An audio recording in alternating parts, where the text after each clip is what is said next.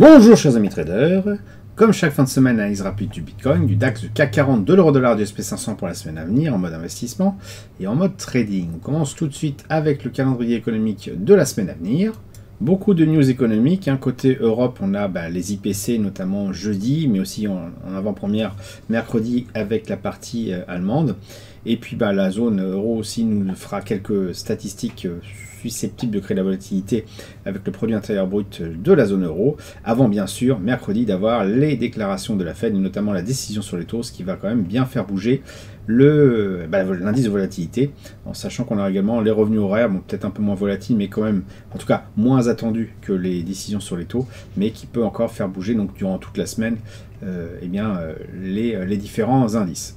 Allez, on, exprime, on commence tout de suite avec le Bitcoin exprimé en euros, qui est toujours dans sa, bah, son range de latéralisation. On le voit ici, hein, de toute façon, en train d'osciller de, part et d'autre de ce range, qui est un petit peu plus visible forcément en unité de temps inférieure. Et donc, bah, vous savez comment ça se passe hein, dans ces cas-là. Voilà, quand on oscille de part et d'autre, alors on peut bien sûr ajuster le, range à chaque fois, hein, mais ce qui compte, bon, c'est les, indices, les volumes par prix, alors qu'ils ne sont pas forcément très bien représentés en Bitcoin exprimé en euros, mais en Bitcoin exprimé en dollars, c'est ouais, pas forcément mieux non plus. Hein, c'est tout ce qui est euh, volume par prix ici. Toutefois, on peut quand même, si on revient sur le Bitcoin exprimé en euros, eh bien faire une estimation rapide que oui, effectivement, euh, si on ajuste le, euh, le rectangle, eh bien on peut en déduire que eh bien, la résistance se trouve ici, dans cette zone-là, dans le haut du rectangle, et le support également ici.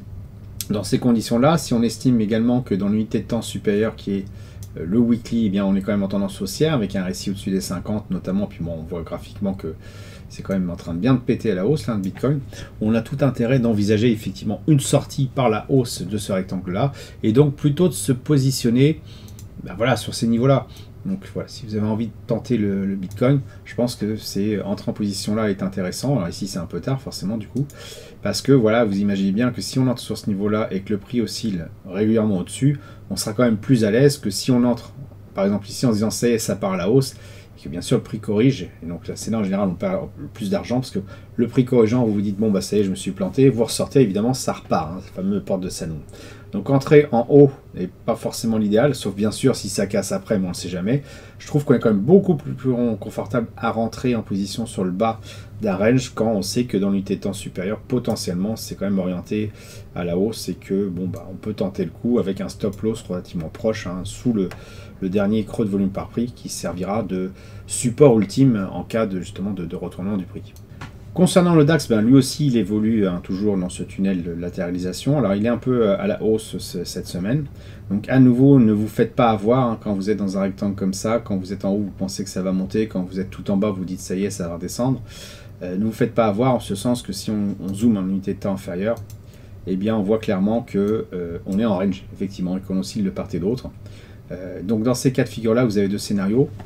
Moi, j'étais plutôt jusqu'à présent sur un scénario de retour hein, sur les 16 094. Je suis en train de poser des questions, tout simplement. Bah, je vous dire après pourquoi, mais euh, parce que, tout, simplement parce que, oui, je vais le dire maintenant, euh, je constate sur l'unité de temps weekly que euh, la résistance qu'on avait là, qui était extrêmement puissante, hein, a été percée plusieurs fois à nombreuses reprises, sans jamais tenir. Et bien là, on arrive carrément au-dessus et on commence à se maintenir au-dessus, ce qui laisse à penser que bah, l'énergie est là. Hein. Les volumes, effectivement, euh, quand on est euh, euh, tout en haut, sont, réapparaissent à nouveau. Il manque encore un petit chouïa hein, pour qu'on ait, je dirais, une initialisation d'un mouvement à la hausse. Mais on peut avoir effectivement ce scénario aussi où, auquel cas, bah, ça, peut, ça peut partir plein nord. Si je reste, moi, sur mon scénario de retour à la normale, je ne vais pas entrer en position parce que je suis un peu en conflit vis-à-vis de ce que je vois. Je vois effectivement une résistance qui tient, je vois des volumes qui sont quand même relativement euh, importants, même s'ils ne sont pas de ce niveau-là. Ça, c'était vraiment un effet panique. Donc je ne vois pas encore apparaître vraiment d'énergie qui puisse aller dans un sens ou dans un autre. Donc j'ai un peu peur de, me planter. Quoi qu'il en soit, si je suis sur un scénario euh, plutôt inverse, donc admettons que je change les couleurs, hop, je vais faire ça tout de suite grâce à la magie du montage. Voilà, si je suis dans un scénario comme celui-ci, il va falloir faire une approche un peu tactique. ça veut dire quoi une approche tactique? C'est que là, vous considérez que euh, euh, ce mouvement-là, c'est un range, il ne faut pas l'oublier. Et euh, quand vous êtes en journalier, vous allez avoir tendance à vous dire ici ça baisse, c'est une catastrophe, ça va, ça va dévisser. Donc, bien, si j'étais passé à l'achat sur cette zone-là, bah, je revends là parce que j'ai en train de perdre de l'argent. pas de bol, ça repart après. Donc on évite hein, d'intervenir sur les niveaux les plus hauts. Parce que les niveaux les plus hauts, quand on achète, c'est seulement intéressant, bien sûr, si le prix part directement dans notre sens. On ne sait jamais quand ça part dans notre sens, si ça le fait d'ailleurs. Alors que si vous êtes vraiment sur un, range, vous avez tout intérêt quand vous êtes dans une unité de temps euh, weekly qui vous indique finalement que bah, le récit quand même haussier. Euh, donc j'envisage moi une sortie par le haut. Vous avez tout intérêt de prendre position à l'achat vers le bas. Parce que quand on est au plus bas et qu'on est dans le range, ce qui risque de se passer, c'est que le prix oscille dans ce range-là et donc évolue au-dessus de votre prix d'achat. Vous êtes beaucoup plus confortable quand vous avez acheté ici que le prix s'amuse à faire ça au-dessus que si vous avez acheté ici ou même là et euh, que euh, bah, le prix reste en dessous parce que la résistance tient toujours. Là, vous n'êtes pas du tout à l'aise. Je dirais si même vous avez par exemple euh, acheté ici et que vous voyez le prix descendre, ce qui risque de se passer, c'est que vous allez mettre probablement une sortie de trade ici, vous allez donc prendre votre perte ici, et puis évidemment ça repart juste après. Donc le cas de figure le plus intéressant, c'est d'acheter sur euh, le niveau du range le plus bas. Et regardez, hein, les, volumes de prix sont assez, euh, assez éloquents, on voit bien là. Euh, si vous avez ici un, donc un point d'entrée, un ordre à court limité ici, placer son stop loss, alors juste en dessous c'est un peu risqué, par contre vous voyez qu'il y a un mini pic ici, eh bien placer son stop loss en dessous du creux est intéressant. Pourquoi? Un creux, volume par prix, ce qui est le cas ici, je vais peut-être zoomer un petit peu parce que un petit peu, un peu. Quand vous arrivez sur ce niveau-là, il y a un rejet du prix. Donc soit le prix traverse directement ce niveau-là, l'évolution de la courbe, hein, traverse ce niveau-là, comme c'était le cas ici, soit il y a un rejet. C'était le cas ici. On arrive sur cette zone-là et pouf, il y a un rejet. Et donc si vous mettez votre stop loss là, vous pouvez bénéficier encore d'une dernière chance qui est le rejet par le haut euh, du prix. c'est ce qui s'est passé là. Regardez, on est pratiquement au pixel près. On est là au plus bas sur cette bougie et ça correspond au creux de volume par prix. Donc se placer juste en dessous, là j'ai mis mon trait bleu, c'est un, une bonne idée. Si vraiment le prix se retourne, bah, c'est que vous êtes potentiellement planté, auquel cas bah, autant sortir assez vite. Acheter ici avec un stop loss là, ça permet aussi de prendre un petit peu moins de risques, hein, évidemment, si vous respectez bien sûr euh, votre money management. Et du coup, vous êtes à la fois en situation confortable parce que le prix évolue au-dessus de votre cours d'entrée et avec un risque faible. Et puis évidemment, si elle se met à casser après, ben, vous rapprochez votre stop loss, vous gérez le trade de, manière normale. Donc acheter ici lorsque le, DAX, hein, ce qui est euh, le cas en ce moment, est au plus haut. Ça peut être une chance sur deux, effectivement, ou je suis pas sur deux, je dis ça au hasard, mais ça peut être une chance que si ça casse, bah, vous soyez déjà positionné, c'est chouette. Et euh, par contre, si ça redescend, bah, de ne pas être confortable. Et mettre un ordre à croix limité à l'inverse, c'est aussi le risque de se voir pas exécuter, c'est-à-dire que le prix peut faire ça, et hop, repartir direct sans vous. Ça fait partie du jeu, mais moi personnellement, je préfère ne pas perdre d'argent parce que je ne suis pas entré en position, que d'entrer à tout prix au moment où finalement bah, il y a un retracement après, je sors et je me mets à, perdre, à perdre des sous. Concernant le DAX, c'est vraiment le même, scénario. On est, euh, bon, les courbes sont légèrement différentes, mais on est sur quelque chose de, en, termes d'oscillation qui est assez, euh, assez flagrant euh, en weekly. Donc je ne vais pas vous refaire le même speech qui était un petit peu long hein, sur, le, sur le, DAX. Mais voilà, on est à nouveau en train d'évoluer. J'ai beaucoup de carreaux, fois je nettoie un petit peu, beaucoup de rectangles partout.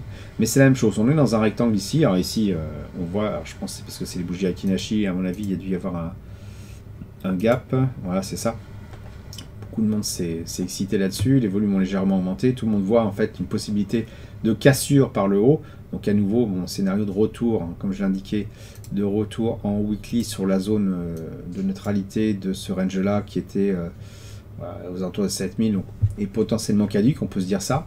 Bon, ne paniquons pas pour l'instant, on voit qu'on est toujours dans le range là, on est tout en haut du range, c'est possible. On est un peu euphorique parce qu'on est en haut du range. Peut-être que la semaine prochaine, on sera comme on était la semaine dernière, tout en bas du range en se disant ça va redescendre. Pour l'instant, je ne pourrais pas trop dire, si ce n'est qu'effectivement il y a un petit peu plus de volume depuis, euh, bah, depuis vendredi, que la séance est ouverte en gap, mais bon, on connaît le CAC 40, souvent c'est un, peu un pétard mouillé, hein, donc il ne faut pas s'inquiéter plus que ça. Donc si on est plutôt, moi sur mon scénario, euh, je dirais baissier de retour à 7000, 7030, euh, hein, bien là c'est un bon point d'entrée à la vente. De la même manière que je vous expliquais qu'ici c'était un bon point d'entrée à l'achat si on estime que le prix va casser par le haut. Si moi je mets en fait un cours à ordre limité, ou même je pourrais carrément être euh, au marché maintenant, puisque je suis sur le niveau le plus haut, potentiellement. Si j'entre ici, que je mets un stop loss à peu près là, alors ça, le, stop loss, hein, pour regarder, euh, on peut prendre peut-être en weekly, hop, on va se mettre en weekly sur un graphique, et à regarder si on arrive à trouver des volumes de... Ah non, on est vraiment au plus haut hein, historique du CAC 40, donc il n'y a pas forcément de facilité à placer un stop loss. Bah, plaçons-le à peu près là, hein. c'est pas, dramatique. Je pense que si on s'est planté, on le saura assez vite. Si on se place ici, le stop loss, c'est qu'on entre en position là, eh bien, on va être confortable tant que le prix oscille là-dedans. Et si on envisage effectivement un retour sur les 7030, bon bah là, euh, et qu'il arrive, on est, on est content. Si on s'est planté et que ça va euh, à la hausse, même principe pour le DAX, mais là à l'envers, eh bien on sort de position assez vite et puis on n'en parle plus, on attend d'avoir une nouvelle euh, configuration. Donc pour l'instant, moi je sais pas trop. Hein. je, reste quand même sur mon idée que on est en range, que bon les contextes économiques est pas top, géopolitique encore moins. Euh, bon, c'est pas ça qui fait forcément bouger le prix, mais je reste plutôt donc sur un retour sur ces niveaux-là. Euh, pour l'instant, si je me trompe, eh bien, euh, je me serai trompé, c'est tout, et on, refera un scénario. L'idée, hein, c'est de faire en bourse, on n'est pas capable de prévoir l'avenir. On peut faire des scénarios et surtout d'adapter sa stratégie en fonction de ces scénarios pour gagner le plus possible quand ça va dans notre sens et puis perdre le moins quand c'est pas notre cas. Donc je suis en revanche beaucoup plus optimiste. Hein. Je l'étais déjà la semaine dernière, j'avais mis la couleur de flèche pour le, pour le, SP500 bah, qui, bah, voilà, qui, qui, explose tout simplement. Hein. Euh, je pense que l'explosion, si on regarde l'unité de temps un peu plus, un peu plus rapide, l'explosion voilà, elle a eu lieu il y a quelques jours, euh, donc le 19 janvier, c'est là où ça a vraiment pété, où c'était intéressant. Et à nouveau, hein, j'insiste sur la partie euh, se positionner dans un range. Un range surtout qui se resserre plus en plus est vraiment un signal fort supplémentaire de cassure par le haut, même si bon là les, le RSI était particulièrement clair en weekly hein, avec euh, donc super à 50 indiquant vraiment un mouvement euh, particulièrement haussier. Donc là j'avais abandonné hein, il y a plusieurs mois mon retour euh, vers le scénario des 4500, c'était un peu ce que j'avais envisagé tout simplement parce que le prix m'a montré que je me suis trompé. après on change de scénario, on voit que finalement effectivement le récit tient, les courbes, les indicateurs techniques nous indiquent que potentiellement bah, c'est bien parti pour la hausse et effectivement ça a cassé la hausse. Donc se positionner à l'achat à ce moment-là était intéressant sur ce niveau-là et on ne le savait pas forcément. Peut-être celui-ci, mais on ne le savait pas forcément. Je pense qu'ici, eh si j'avais placé un ordre à court limité, je ne serais pas fait exécuter. Ici, je ne l'ai pas fait non plus, mais j'ai pris un ETF long, hein. donc je n'ai pas, pas tradé en swing trading, mais plutôt sur du l'investissement. Donc de toute façon, je suis positionné. Mais voilà, ici, donc on a une belle, hausse dont on a pu profiter. Et puis à l'inverse, hein, si on avait acheté ici et que ça s'était retourné, on aurait un retour certainement sur ce niveau-là, on serait fait sortir de position assez vite, donc limitant un petit peu les dégâts. Je viens de me rendre compte que j'ai oublié l'euro-dollar. Euh, donc euh, effectivement, il est baissier hein, dans cette phase-là.